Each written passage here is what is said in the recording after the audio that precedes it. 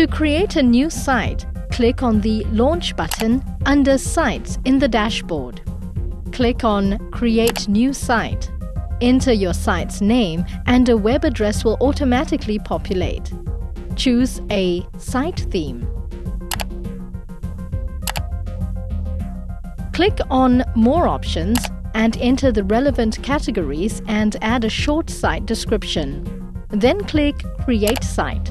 Now that your site is created, you can click Manage Sites under the More Actions button. Add collaborators who can edit your site along with you by clicking the Sharing button.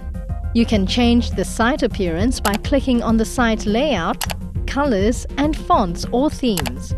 You can also click the General tab under Site Settings to make other changes, including enabling Google Analytics to track your site's traffic. Thank you for watching.